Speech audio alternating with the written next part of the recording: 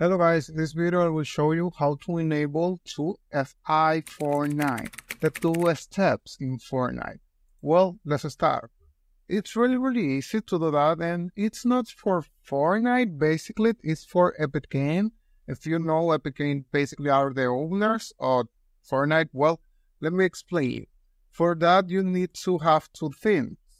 You can do it in the web, if you say you are here in Epic Game here in the Epic Game Store.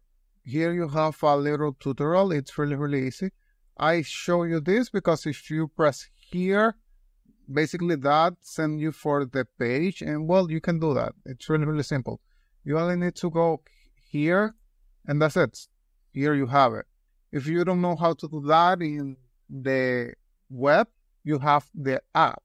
In the launcher, you go to account and here, well, it's the same as the last steps.